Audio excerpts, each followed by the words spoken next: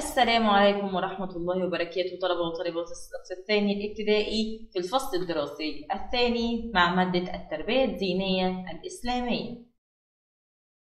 معانا النهاردة المحور الرابع التواصل قسم عبادات قصة عن المشاركة. تعالوا نشوف. دخل الجد والأحفاد المنزل وكانت والدتهم في انتظارهم فقالت ما كل هذا؟ هل اشتريتم كل ما في بالسوق؟ ضحك عمر وقال لا بل مستلزمات العيد فقط. قالت مريم هذا فستان فريدة وهذا فستاني. قال زياد وهذه ملابس عمر وهذه ملابسي. عندما دخل الجد والأحفاد إلى المنزل وكانت والدتهم تنتظرهم وقالت ما كل هذا؟ هل اشتريتم هل اشتريتم كل ما في السوق؟ فطبعا صديقنا عمر ضحك وقال لها أنهم اشتروا فقط مستلزمات العيد فهذا فستان مريم وهذا فستان فريدة وهذه ملابس زياد وملابس عمر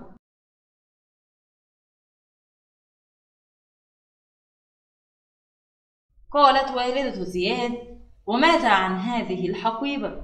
قالت فريدة هذه لعب صغيرة اشتريناها كي نوزعها على الصغار بعد صلاة العيد. فهم جيراننا وعلينا إدخال السرور على قلوبهم. ردت والدة زياد يا لها من فكرة جميلة. وهنا وهنا قالت والدة زياد ما هذه الحقيبة؟ فكان معهم حقيبة أخرى. ففريدة ردت عليها وقالت إن ديت لعب صغيرة اشتروها علشان يوزعوها على الأطفال الصغار من جيرانهم لكي يدخلوا السرور على قلوبهم وذلك بعد صلاة العيد. فردت والدة زياد يا لها من فكرة جميلة.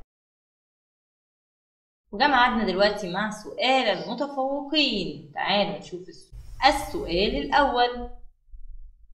أجب اذكر صورة من صور المشاركة. تعالوا نقول السؤال مرة أخرى. اذكر صورة من صور المشاركة. فكر يا صديقي في الإجابة وما تنساش اكتبها لي في التعليقات.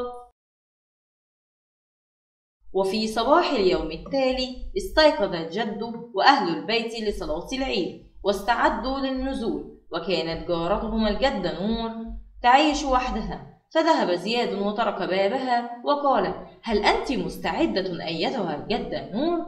قالت نعم يا بني بارك الله فيك في صباح اليوم التالي طبعا صحى الجد من النوم وأهل البيت وجهزوا نفسهم للذهاب لصلاة العيد واستعدوا للنزول وكانت جارتهم الجدة نور تعيش وحدها فهي جدة وكبيرة في السن. فذهب إليها زياد وترك بابها وقال هل أنت مستعدة أيتها الجدة نور؟ وردت عليه أنها مستعدة.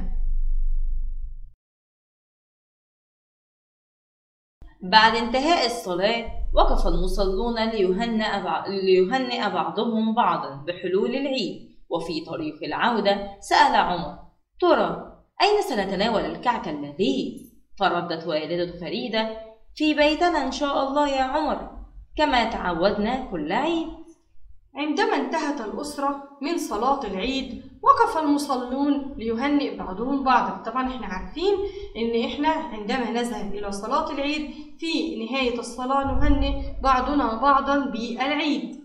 وفي طريقهم في العودة إلى المنزل. سأل عمر يا ترى أين سنتناول الكعك اللذيذ؟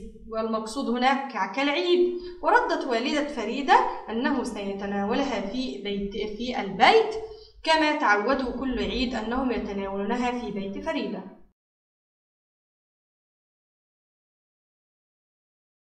فنظر زياد إلى أمه وقال لها ولكنني متعب هل يمكنني أن أنام قليلا؟ فسمعه جده وقال له من كرم الضيافة أن يكون كل أهل البيت في استقبال ضيوفهم فرد قائلا إذا كل ما أحتاج إليه الآن هو أن أمسح وجهي بالماء في هذا الوقت نظر صديقنا زياد إلى أمه وقال له أنه متعب هل يمكنه أن ينام قليلا؟ ففي هذا الوقت سمعه جده وقال له أن من كرم الضيافة أن يكون كل أهل البيت في استقبال ضيوفهم يعني عندما يأتي إلينا ضيفا يجب أن تكون كل العائلة في انتظاره فهذا من كرم الضيافة وقتها رد صديقنا زياد وقال أن كل ما يحتاج إليه هو أن يمسح وجهه بالماء ودلوقتي جمعنا مع سؤال المتفوقين. السؤال الثاني.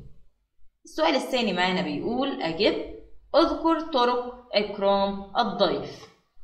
نقول تاني أذكر طرق إكرام الضيف. فكر يا صديقي في الإجابة وما تنساش تكتبها لي في التعليقات. وبعد قليل حضرت الجدة نور وأسرة يحيى وأسرة علي. ومع كل منهم أطباق شهية وكعك لذيذ قضى الجميع وقتا طيبا وملأت الضحكات البيت ثم انصرفت الأسرتان وكذلك الجدة نور شاكرين أهل المنزل على حسن ضيافتهم. بعد قليل حضرت الجدة نور وأسرة يحيى وأسرة علي وكل منهم كان معهم أطباق شهية كانوا يضعون الحلويات الخاصة بالعيد في أطباق وأحضروها معهم وكمان كان معاهم الكعك اللذيذ. وقضى الجميع وقتا طيبا. وكان تملأ الضحكات البيت فرحين جميعهم الأسرتان بهذا اليوم الجميل وهو يوم العيد. وكذلك أيضا الجدة نور كانت سعيدة وبعد ذلك انصرف الأسرتان والجدة نور وشكروا أهل البيت على حسن ضيافتهم له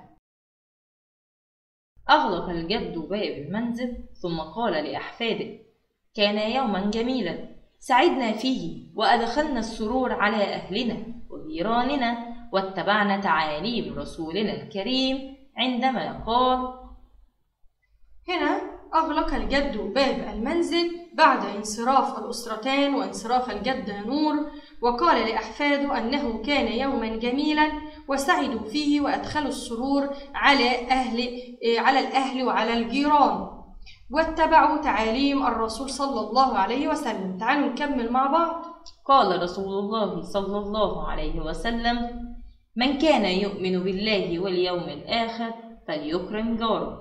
من كان يؤمن بالله واليوم الآخر فليكرم ضيفه. يبقى هنا قول الرسول صلى الله عليه وسلم عن كرم الضيافة أنه من كان يؤمن بالله وباليوم الآخر من يؤمن بالله وأن الله وحده لا شريك له ويؤمن كمان باليوم الآخر وهو يوم القيامة فليكرم جاره. فيهتم بكرم جاره وضيافة جاره. ومن كان يؤمن بالله واليوم الآخر يؤكد عليها مرة ثانية فليكرم ضيفه. ودلوقتي معنا التدريب بيقول لي ضع علامة صح أو خطأ. يجب علينا إكرام الضيف. صح. تقديم المساعدة للآخرين ومشاركتهم لا يسعدهم. خطأ. السؤال عن الجيران وزيارتهم من صور المشاركة. صح. وفي نهاية درس النهاردة وقصتنا عن المشاركة يا رب نكون استفدنا وتعلمنا إن إحنا نشارك أهلنا وأصحابنا في كل ما يخص الأفراح والأحزان ونقف إلى جانبهم ومساعدتهم. والسلام عليكم ورحمة الله وبركاته.